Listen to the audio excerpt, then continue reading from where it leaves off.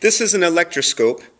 It consists of a metal plate connected with a metal screw to a center metal piece, a metal pin, and a straw with a conductive coating on it. Everything is conductive, uh, and it is isolated from this outer ring by a plastic ring over here. Any charge that exists will exist only on the center part. I'll start off by charging the wand of my Van de Graaff generator with the Van de Graaff generator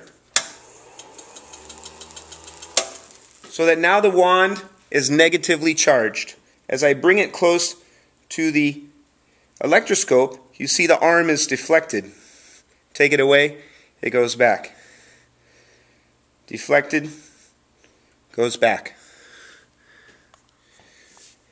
The reason the arm was deflected is that when I bring the wand close by, the electrons uh, in, that are already existing in the atoms of the metal plate in the electroscope are repelled by the electric field of the negatively charged wand.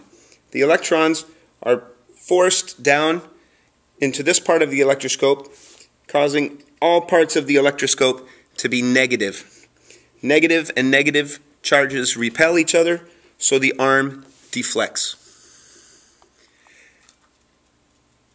Now I'm going to do it again, but this time I'll put my finger on the plate of the electroscope. I'll bring the sphere in proximity of the electroscope, remove my finger, and then remove the wand, and you'll notice that the arm of the electroscope remains deflected. It remains deflected because by placing my finger on the electroscope, I allowed electrons to escape through my finger and into the ground. Now there's a shortage of electrons on the electroscope, creating an overall positive charge. If I put my finger on the plate of the electroscope, it will allow electrons to be attracted back into the electroscope and become neutral once more.